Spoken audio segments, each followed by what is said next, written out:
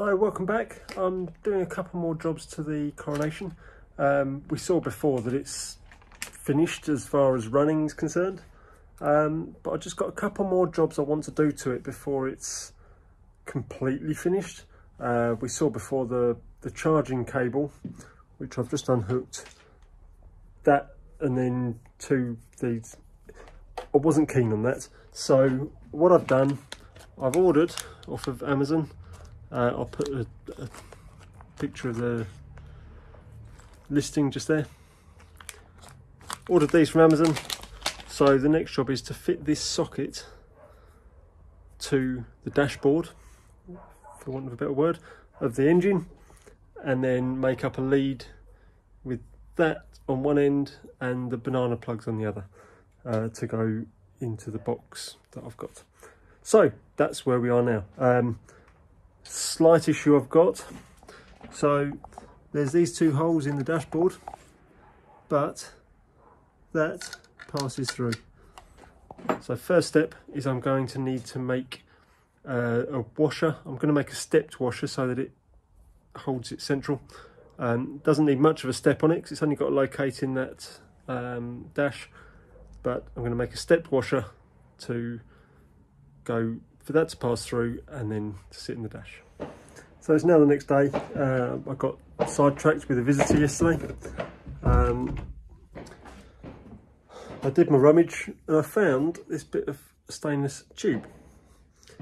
Now the uh, the fitting goes into the tube but doesn't but the thread doesn't pass through so it would just need boring out ever so slightly. So that would be almost ideal. It's half inch OD which is which is what I was looking for. See there's a doesn't quite fit in which is ideal. However, one thing I hadn't done is measure the holes in the dash and it just passes through. So they're half inch holes. So I need to have a, another little scout for some more material. Right, so I've been having a little hunt out there. I found a short piece of aluminium and I've also found a short bit of brass. Um, both about the same size, aluminium slightly bigger diameter, but I am going to go with the alley purely because everything else on there has a sort of silver finish. So another different colour I didn't really want to add in. So alley it is, we're going to stick it on the lathe, drill it, bore it, whatever we need to get it so the thread just passes through and then turn a little step on it down to half an inch that will fit inside that hole in the dash, part it off, um, and then put it up there, put it in. So with the magic of camera work, it's now made, fitted, and the wires, which are too short to get all the way to the battery, I have uh, put a, an extension piece on that's way too long at the moment. I've wound them together and I'm going to solder these I've also slid onto the cables some heat shrink, which once it's soldered, I'll fold them over and heat shrink. So I've had the soldering iron plugged in here for a little while, off camera. Is at the limit of being hot enough. So, what I do, the way I find works for me, I'll just warm it up. and just keep trying it every now and again until eventually the solder melts into the wires. And once more, some people tin both pieces of wire first, lay them side by side. I don't like to do that. I prefer to know that the solders run right through like this.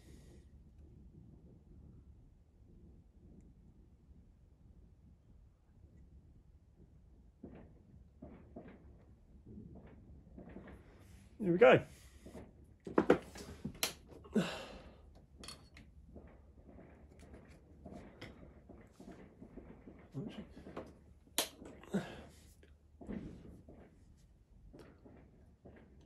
Nicely soldered now. I'm going to bend them over like that, double them over. Uh,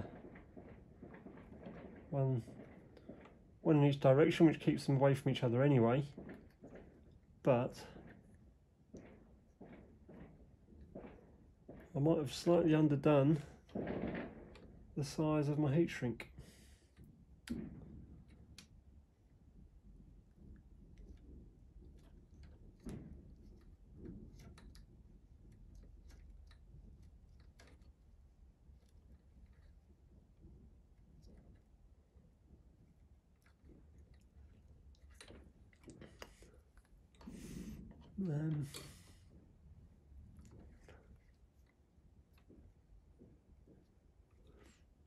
Yeah, my red was a little bit smaller than the blue. It's covered, but I'm not overly happy with it. I'm just going to use a small torch to very gently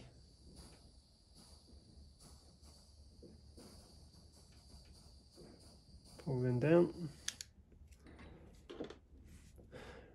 But where I'm not particularly happy with that red, what I'll do, I've got some bigger stuff here.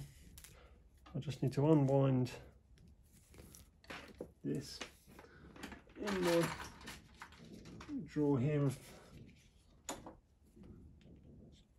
electrical bits and bobs. Cut a short piece.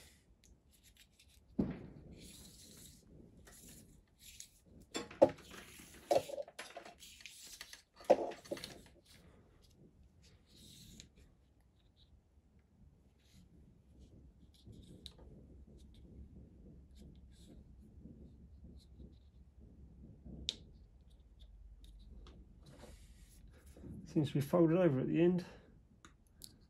So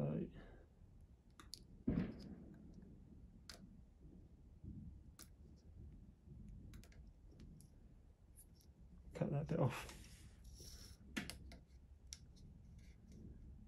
There we go. Oh.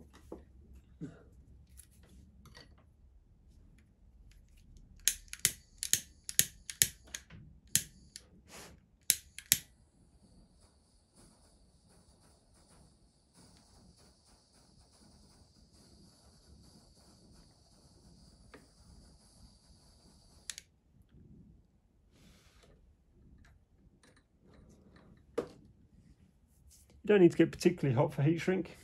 I mean, to be fair, the heat of the soldering iron can be enough as well.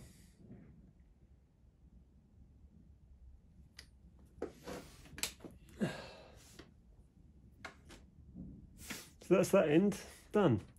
Now we'll just feed the cable through, split it and connect it to the battery.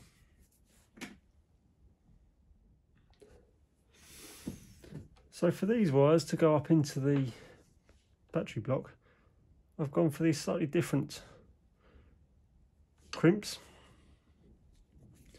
These ones, the cable goes up inside it and it all gets crimped together. I don't know how well you can see that because I can't see the camera. In fact, I've just had a look and you can't see it at all. So let's try again the cable's there. It runs up inside the ferrule so the cable's actually inside the, the metal bit at the end. And then it's a different type of crimp, crimps. Same idea as a normal the other crimps. It just um, doesn't have the colours. It's got wire sizes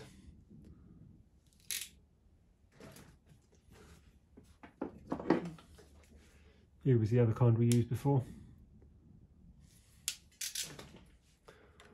So these terminals can now go inside the battery block. So once again with the power editing we've saved you a bit of boredom. Uh, the cables are now joined into the terminal blocks. Uh, so this part of the engine is ready. I just need to make the cable to go to the charger. And what I'll do these cable, this cable which fed it before, I'm going to once again solder this onto the end and then uh, we'll be good to go. Uh, I've just showed you the soldering process. I won't show you that again. I'll just show you when it's done. So that is it. Now finished. And according to that single light on top of the charger, it is charging. When that single light turns to a, an orange and a green, then it's reached its full charge and it's just on float. So, short of, I'll, I'll unplug this, put the lid back on, and then for now, it's finished. So with the body back on, as far as I'm concerned, it's finished. Uh, it can go out to, to be used every now and again.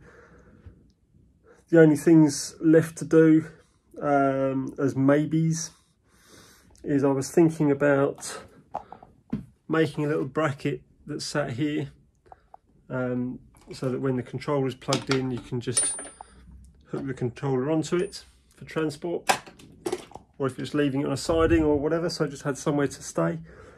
Um, so that's the only mechanical thing to do to it. Um, I might think about there's there's see three lights across the front. And here. Once upon a time they worked. Um, I might look at getting them to work again. Um, as I remember they used to plug in via a plug and socket that was attached to the body and as it dropped in it would it made the connection because you're lifting it on and off, it gets knocked, it didn't last. Um, but because we're now not lifting on and off all the time, there's no need for that body to come off unless there's a problem with it, whether the battery's dead or whether the like dead as in won't take a charge anymore, um, or if we're doing any any work to the electronics. But uh, for me, that's that's not the biggest issue. Um, so it could get the lights back and I might even just, although I have noticed a problem with the 4QD controller. Um, we had someone at the club last week who had one of these with him and uh, I believe this one does the horn, bi-directional switch so that um, you can have two two-tone horns but the other switch which should do the lights is also sprung loaded sensor off. So there is no switch on there which can just take a horn. Um, but there's a couple of holes in the dash still. I could put some lights on and, and put a switch on the dash. Um, it's not the end of the world. So yeah, that's that's it done. Um, if anyone happens to have any photos of the full size version of this, let's um, give you another little look. if anyone knows a full size picture, let me know. Um, let me know where I can find it. Um, it might get a repaint one day. So that's a potential for the future. But for now, like I say, I'm happy with it. It's only a toy for the kids at the moment, so um, it, they will have fun with it as it is. So thanks for watching. Um, I can tell you what's coming next. Um, if I walk out into the, I've had a massive tidy up. Look at all that space. I've spun this bench around, which, as you can see, Rory's pom-pom is back on the bench. Um, you see it's currently a 202. Um, so my next job with it is to finish the crank axle the axle itself is finished, it just needs to push, push the wheels on. The wheels are in that tin there. Push the wheels on, uh, get them quartered, then I can um, get the valve gear set, get it running on air, then think about paint and a few other little jobs here and there. So, thanks for watching. Um, as always, incredibly grateful for all of you that do watch. I think that vaguely came out in my in my, my words. Um, yeah, last time I checked, I was on 986 followers, which is incredible. Um, only 14 away from a thousand, which would be incredible to get to. I would love to get to that this month if I can. Um, who knows? Uh, but yes, thanks for watching. If you've enjoyed it, please do subscribe. Uh, tell your friends, let them subscribe. Um, but for now, um, have a good day, have a good night, and in, I hope I'm giving you some inspiration to get some work done, or just giving you some pleasure by, by watching the videos. So, I'm going to stop waffling now. Thanks for watching. See you next time.